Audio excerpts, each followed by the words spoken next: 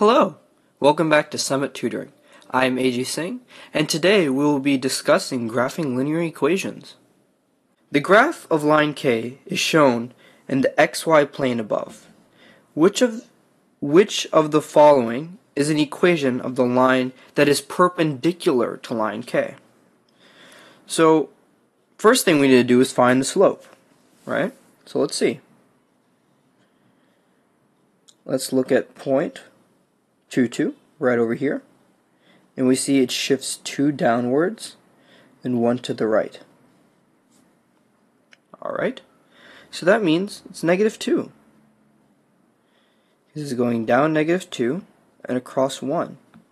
So negative 2 is the slope. But now we have to remember, they're asking us for the perpendicular line. Right?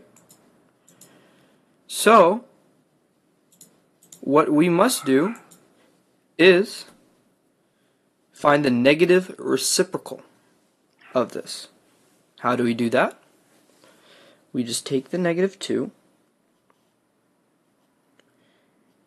and we put it over 1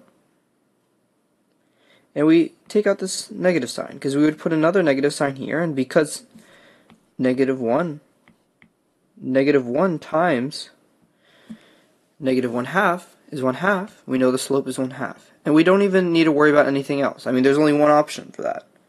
Circle it, which the answer would be C. Next one.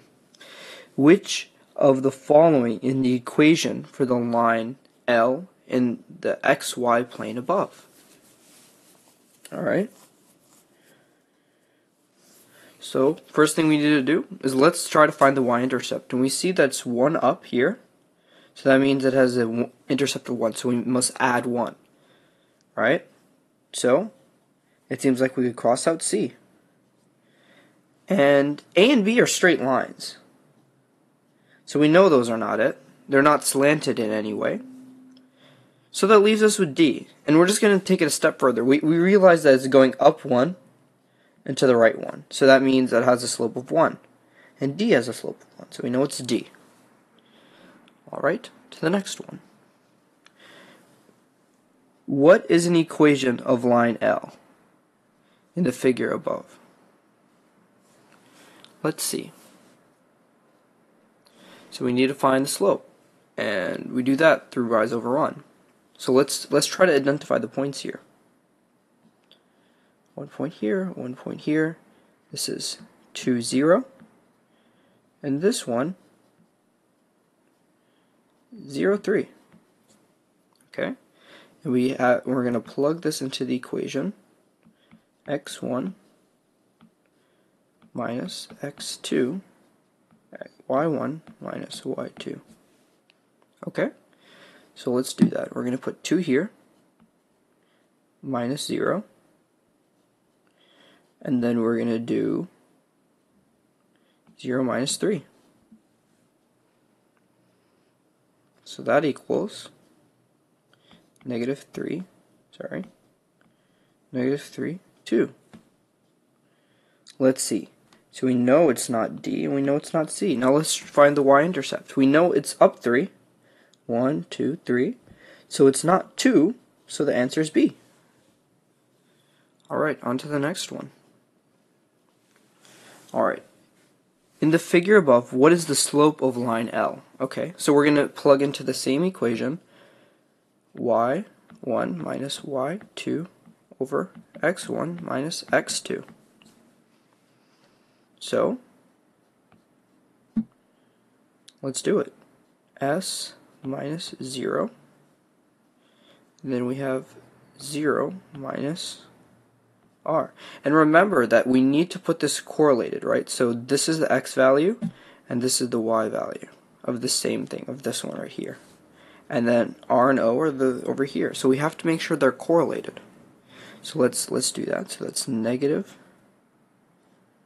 negative r s.